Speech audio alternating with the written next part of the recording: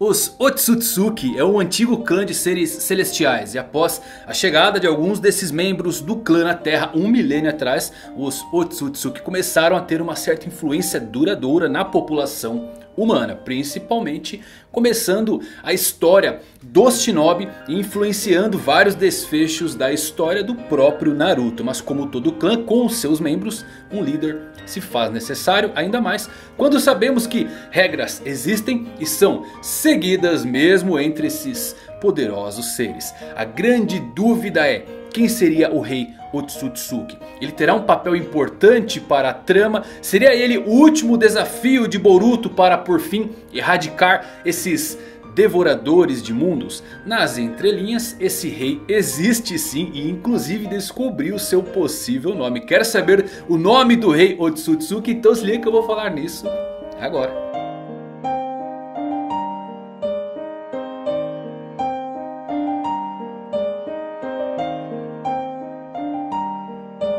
Fala galera, Evandro Fusari com mais um vídeo pra vocês, como vocês estão? Espero que todos vocês estejam maravilhosamente bem. Hoje trazendo mais um vídeo do mundo de Naruto e obviamente de Boruto tentando desvendar quem seria o rei dos Otsutsuki. Existe um rei? Existe um nome por trás disso? Existem sim muitas referências e entrelinhas que deixou pra trás. Tenho certeza que você não percebeu alguns detalhes, então assiste até o fim porque esse vídeo está muito legal. Se você é novo no canal, aproveita para se inscrever. Inscritão Mangalático, dispara o like para dar uma fortalecida.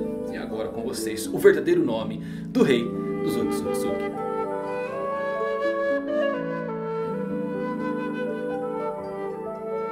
Bora lá, o clã Otsutsuki é originário de outro universo, tendo chegado à Terra cerca de mil anos atrás. Vários membros deste clã têm fortemente influenciado tanto os ninjas como o mundo em geral com suas ações resultando no mundo em que conhecemos hoje na história de Boruto. Por incontáveis eras, o clã Otsutsuki tem viajado por todas as dimensões em busca de mundos para plantar mudas de 10 caudas. E uma vez plantada, ela cresce e se torna uma árvore divina com suas raízes se espalhando por todo o planeta para sugar o chakra de todos os seus arredores e claro os seus habitantes, resultando em tudo morrendo e dando aí início ao nascimento de um grande fruto para os outros Otsutsuki consumirem e assim eles podem evoluir ganhando poder e longevidade. Depois de colhidos esses frutos, como não precisam mais do planeta, eles mudam-se para outro apenas para repetir o processo. Eles são parasitas, verdadeiros devoradores de mundo. Mas para que as sementes do 10 caudas venham a florescer e se tornem uma árvore divina, um Otsutsuki vivo deve servir de alimento para a besta. Portanto, os membros do clã sempre viajam em pares, sendo o sacrifício sempre o de nível inferior, enquanto o outro zela pelo cultivo do fruto. No entanto, obviamente que os Otsutsuki a serem sacrificados utilizam a habilidade chamada Karma, um selo amaldiçoado que é utilizado para marcar um corpo destinatário transformando aquela pessoa em uma espécie de receptáculo cujo o chakra do Otsutsuki irá possuir e se bem sucedido transformar aquela pessoa em um Otsutsuki perfeito. Ou seja, antes do sacrifício eles preparam um recipiente de antemão a fim de reviverem. No mundo de Naruto, cerca de um milênio atrás, o clã enviou Kaguya e Ishiki para colher a árvore divina da terra e todos os seus frutos de chakra, mas algo ocorreu. Ao invés de simplesmente fazerem o seu trabalho,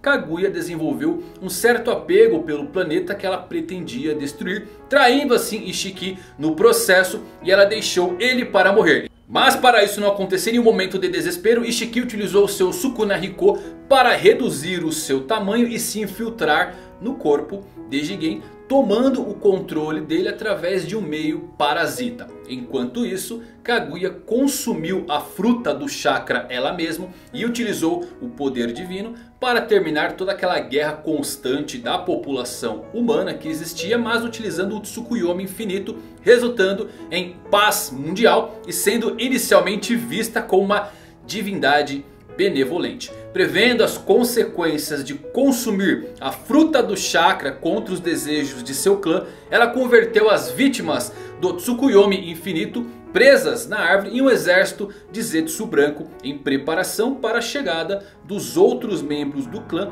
que queriam roubar a sua fruta do chakra e iriam retalhar o que ela fez. Um ato que levou os humanos a vê-la como um verdadeiro demônio e os Otsutsuki a condená-la como traidora. E a introdução desse poderoso clã devorador de mundos Surpreendeu obviamente muitos fãs porque Kishimoto deixou a trama dos Otsutsuki ambígua depois de introduzi-la quando o seu mangá principal estava 90% pronto e na série principal a história de fundo se tornou vaga, restando aos fãs juntarem os cacos que se formaram em um pequeno fragmento. Não culpo o autor pois em uma entrevista ele disse que acabou meio que forçado a encerrar a obra de Naruto quando na verdade ele tinha muito mais para se contar. Mas com Boruto, as coisas começaram a se expandir novamente. E é bem provável que muitos não percebam, mas Boruto não é apenas a jornada do filho de Naruto. E sim a explicação que faltou sobre o clã Otsutsuki na série principal. E uma coisa começa a ficar implícita. Os Otsutsuki seguem leis e se intitulam um clã como uma organização própria para devorar os mundos. E todo clã precisa de um líder para se fazer cumprir as regras e as leis. Urashiki e Momoshiki mencionaram que há muito mais do clã lá fora do que apenas eles. Momoshiki parecia ser superior a todos na forma como Kaguya deveria se reportar a ele. Assim como Kaguya e Ishiki eram parceiros quando vieram à Terra. E eu realmente acho difícil que Ishiki seja o vilão final de Boruto. Porque ele surgiu muito cedo antes mesmo da luta prometida entre Kawaki e Boruto. O que elimina todo aquele fator surpresa que geralmente um vilão final sempre traz para os fãs. Eles provavelmente tem sim um líder, um rei. Pois Urashiki menciona a Toneri que não matará porque é contra a lei matar um membro do clã. Assim podemos concluir que realmente existe um poder superior entre o clã. Se ele é um líder eleito ou um rei permanece desconhecido. Além disso, os membros parecem com muito medo de quebrar estas leis. Pois Kaguya sabia que matar Ishiki traria toda a ira de seu clã. E ela começou a preparar um verdadeiro exército de Zetsus brancos para se defender justamente desta retaliação. Isto pode sugerir que o rei tem um nível de poder superior a todo o resto do clã. Quem garante que cada fruta consumida pelos membros do clã não alimente o rei com alguma parte ou vínculo, quem sabe pelo próprio chakra hereditário deles. O que reforça a existência de um rei, é claro, Kaguya sendo chamada de princesa. E aqui deixo um pequeno adendo. Kaguya foi referida como princesa pelo povo da terra por conta do seu poder. Assim como ela também é referida como a deusa coelho por seus seguidores. Ela nunca foi referida como princesa pelos outros membros do clã Otsutsuki. Mas isto não muda um fato muito importante em conexão dela, a sua origem e inspiração. Kaguya é baseada no antigo folclore chamado o Conto do Cortador de Bambu. E esse conto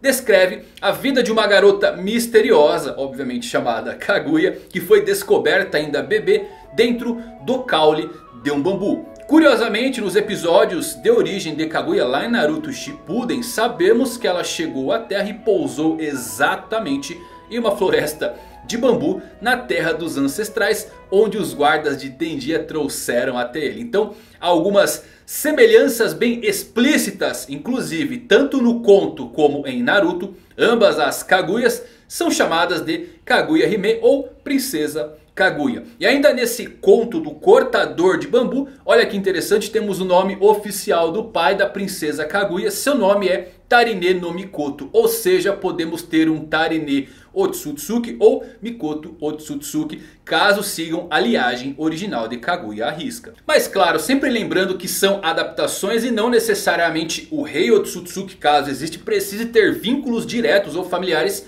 com Kaguya que sabemos que nunca foi referenciada como sendo uma princesa pelos seus irmãos de clã. Mas a referência está sim presente nesta personagem tão importante para o contexto de Naruto. Querendo ou não, ela é uma princesa Otsutsuki, o que significa que um rei e quem sabe uma rainha possam realmente existir. E o que reforça mais ainda é que se você olhar atentamente para alguns detalhes que talvez às vezes você acaba ignorando, pode se espantar com o que encontra lá. Por exemplo, estas duas estátuas que foram mostradas na dimensão de gelo e na dimensão de lava de Kaguya. E podem ter sido sugeridas aí como os vilões finais desde o princípio. Claramente Kirishiki não é o vilão final. Eles estão se preparando realmente para algo maior. Haverá uma guerra Otsutsuki próxima e eu acho que eventualmente todos os nossos heróis terão que derrotar os líderes para acabar com a guerra de uma vez por todas.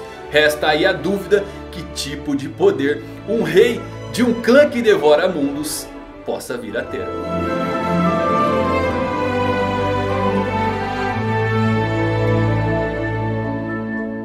É isso galera, pegando de base toda a criação de Kaguya, a inspiração e esse conto folclórico que sabemos que Kishimoto se inspira bastante se você pegar aí todos os nomes dos golpes, deuses e outras coisas inseridas dentro do mundo de Naruto vai se surpreender como ele busca partes da mitologia e dos folclores para compor seus personagens, entre outras coisas. Faz total sentido que Kaguya Himei, a princesa Kaguya, talvez tenha sido inserida para posteriormente nos mostrar quem definitivamente é o rei dos Otsutsuki. Seriam aquelas estátuas realmente uma mostra do que ela já viu no passado e da onde ela veio. Teremos um rei desse clã devorador de mundo aparecendo para os desfechos finais. Eu acho que realmente para haver paz no mundo de Naruto eles têm que eliminar completamente todos os membros do clã Otsutsuki. É isso, espero que vocês tenham gostado desse vídeo. Guardem aí o nome desse futuro rei. Quando ele aparecer vocês vão se lembrar dele. E é isso, até os próximos vídeos. Valeu por assistir.